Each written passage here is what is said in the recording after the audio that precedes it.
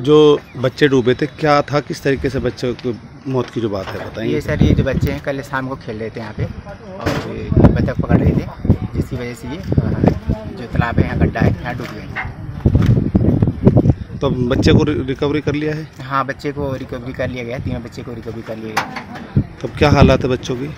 हालात तो बच्चे तीनों डेड निकले